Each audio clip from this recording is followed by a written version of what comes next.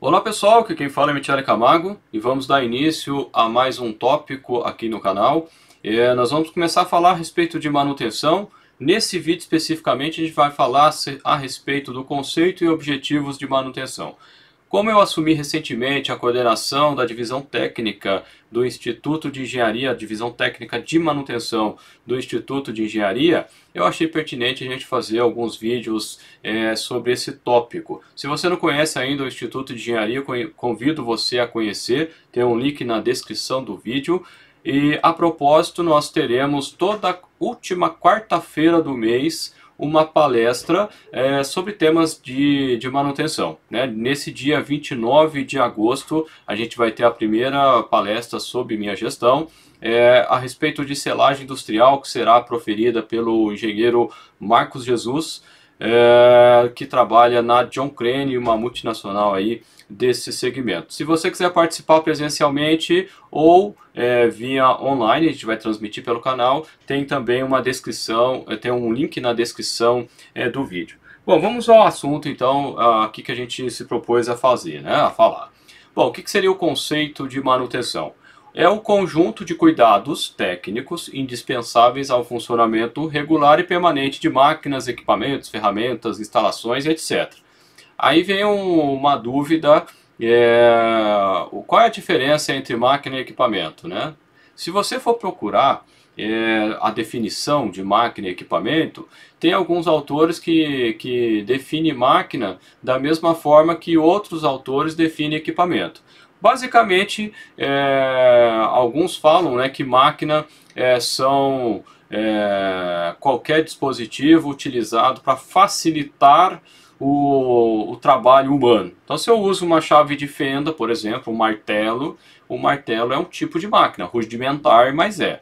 E equipamento já é um conjunto de é, peças, digamos assim, que trabalha de, é, numa determinada é, função. Né? Então eu tenho a máquina, por exemplo, de fazer café. Então a função daquela máquina é, ou desse equipamento é fazer o café. Veja que eu já confundi né, na, na, na máquina com equipamento, então enfim, acaba sendo é, redundante, digamos assim, ninguém sabe qual é a definição exata, exata, exata. Né? Eu procurei vários é, autores e cada um fala de um jeito e algumas se confundem. Bom, é, ferramentas, né, que eu citei, a, se você utiliza, por exemplo, um cortador de grama, é uma ferramenta, é uma máquina que é uma máquina ferramenta, né, tanto que na usinagem, por exemplo, uma máquina de usinagem é usada máquina ferramenta porque ela é utilizada antigamente, né? O pessoal fazia é, com ferramentas manuais, um trabalho em madeira, por exemplo, ou até mesmo é, nos metais, né? O pessoal forjava, né? É, manualmente, botava no fogo e, e, martelava. E hoje existem as ferramentas que fazem, facilitam isso, né? Os martelos pneumáticos, martelos hidráulicos, é, as prensas hidráulicas.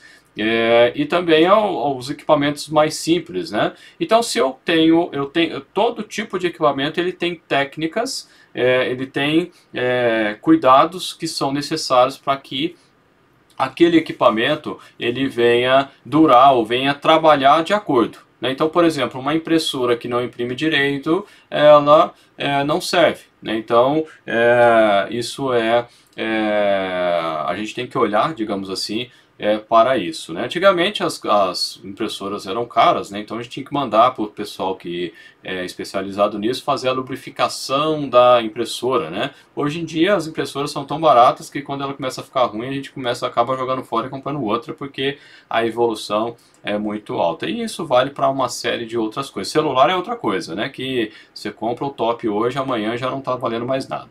Bom, e esses cuidados envolvem a conservação do, do, do bem, do, do, do, equipamento, da máquina, seja o que, aquilo que, ou o que for, né?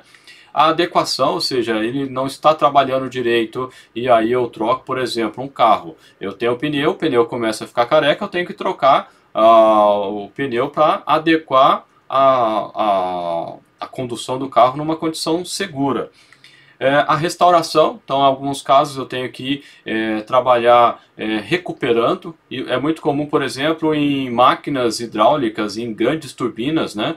Por efeito da cavitação, você começa a ter problema é, de remoção de material do rotor e aí existe um procedimento via soldagem para é, voltar né, o rotor na condição original, porque com o tempo ele vai perdendo sua eficiência. E também a substituição. Né? Então o exemplo que eu dei é, do, do pneu pode também entrar em, é, com relação à substituição. Então tem, tem situações que a gente é, faz a troca propriamente dito é, do material, né, da, da, peça. Né? Eu tenho que trocar a embreagem. Se eu não trocar a embreagem, eu não, não adianta que não vai é, funcionar. E também a, a prevenção. Né? Então a gente tem que avaliar esses tópicos. E aí vem quais são os objetivos da manutenção. Manter os equipamentos e máquinas em condição de pleno funcionamento. Então eu quero que a máquina funcione no seu melhor desempenho possível é, para garantir a produção normal e a qualidade dos produtos. Muitas vezes a máquina está funcionando adequadamente, porém a qualidade é, dela, é, das peças produzidas por ela, já não está tão adequada. Vamos voltar ao exemplo da, da máquina de usinagem. Né? Com o tempo, o sistema de movimentação da, da máquina começa a se desgastar e aí o que, que isso vai impactar? Ele vai impactar lá nas medidas da peça. Então a máquina em si ela está se movimentando.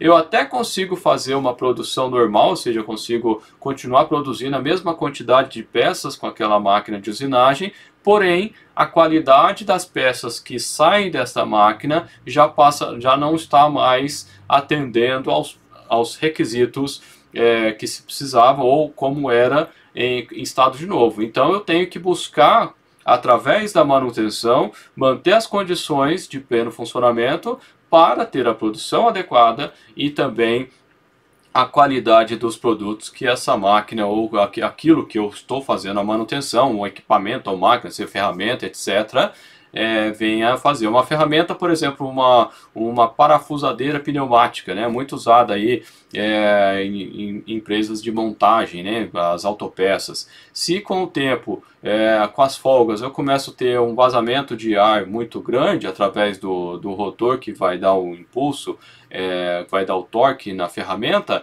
é, o funcionário passa a demorar mais tempo para parafusar né, o, os parafusos ali da montagem, consequentemente eu perco dinheiro também porque vai produzir menos. Bom, e o que, que isso requer? Né? Ele requer é, manutenções diárias em serviços de rotina. Então, por exemplo, voltando ao exemplo da, é, da máquina de usinagem. Então, o operador, né, o torneiro, por exemplo, vamos dizer que é um torno. Esse torneiro, ele, ele executa o trabalho dele do dia e aí a, você tem a formação, a, a, formação de cavacos, né? E esses cavacos vão é, espirrar, vamos dizer assim, para todo quanto é lado. Né? Então se o, o, operador, né, se o torneiro ele não faz a limpeza adequada, no outro dia, quando ele vai voltar para trabalhar, ele vai ter problemas é, para executar as suas funções. Então, existe coisas que têm que ser feitas todos os dias. Por exemplo, a limpeza, a organização. Hoje é muito comum nas fábricas né, o, o 5S, né, que vem lá é, do programa de qualidade ISO 9000.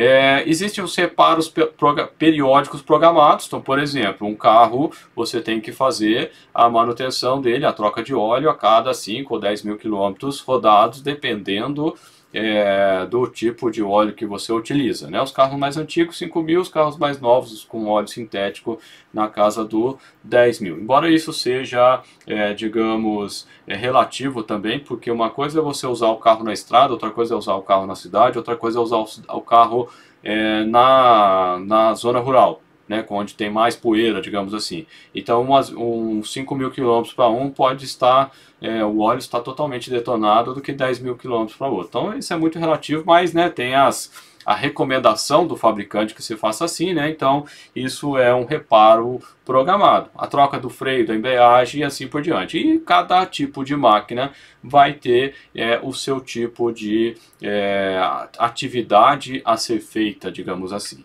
É, e qual é a manutenção ideal? Né? O que, que é manutenção ideal? O, que, o que, que eu busco fazer? A manutenção ideal é aquela que vai promover alta disponibilidade. Então até coloquei em amarelo destacado, porque disponibilidade é um é, dos é, indicadores que a gente diz, de os KPIs, né, que o pessoal fala, ou KPI, né, que são os indicadores que ele mostra se o equipamento ele está é, bom ou não. Né? Então, os equipamentos que quebram demais e que requerem muita manutenção, eles têm baixíssima disponibilidade. O que é disponibilidade? É o equipamento estar disponível.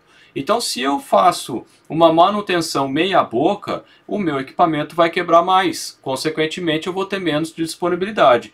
Então, eu tenho que fazer uma manutenção tal que permita que o, o equipamento fique disponível a maior parte do tempo possível. Né? Só que aí que acontece, né? A gente vai fazer uma manutenção, por exemplo, no, no carro, né? voltar ao exemplo do carro, e aí o mecânico fala, olha, tem a, a, peça original e tem a peça tabajara, qual que você quer? Normalmente a peça tabajara ela vai durar menos, só que aí ela custa menos também. Só que se é, um, se é um taxista, né, se é o pessoal que dirige por Uber ou esses outros aplicativos que existem, por exemplo, se ele ficar toda hora indo é, na oficina trocar embreagem, vai ser um problema para ele né, ou trocar qualquer outra peça. Então, é, trocar o, usar a peça Tabajara talvez não seja uma boa ideia. E tem uma questão importante que eu, que eu, que eu comecei a falar, que é justamente o custo adequado. Então, veja que custo adequado não é o menor custo. Né? Então, se você assistiu aí a, a entrevista que eu fiz com o professor Osmar, ele, ele explica muito bem isso, porque muitas vezes a gente olha para o desembolso, ah, esse aqui é mais caro do que aquele, então vou comprar o mais barato, só que o mais barato dura menos. E aí, dura menos, eu tenho um problema é, de ficar trocando toda hora. É o que acontece, por exemplo, com o selo mecânico, é o que eu, que eu trabalho. É, existe o selo mecânico bom, existe o selo mecânico mais ou menos. E aí que acontece? O, o, o, bom, ele dura mais, o mais ou menos dura menos. E aí o, você está na empresa química, está lá bombeando, tem que bombear o produto para fazer o outro produto, né, que ela vai transformar alguns produtos num terceiro, quarto produto. E aí o equipamento quebra para, para a linha de produção e aí você comprou baratinho, mas é, não teve disponibilidade. Então a manutenção ideal é aquela que promove a maior disponibilidade possível num custo adequado. E como é que a gente mede isso? Por exemplo, através do chamado MTBR, que do inglês seria tempo médio entre falhas, é, que eu vou medir de quanto tempo o meu equipamento quebra. Qual é a média? Né? Então ele quebra a cada três meses, um ano, dois anos, enfim. Isso é alguns parâmetros que nós vamos discutir ao longo dessas, desses vídeos aqui. E agora eu queria que você desse sua opinião, que escrevesse aqui embaixo o que você achou do vídeo, que você, é, mesmo se não gostou, coloca também por que não gostou. É, tem as descrições, né? Se quiser fazer parte do nosso grupo no WhatsApp, por aí vai, tudo está na descrição, dá uma olhada na descrição que tem bastante coisa lá. Beleza, pessoal? Um abraço e até a próxima.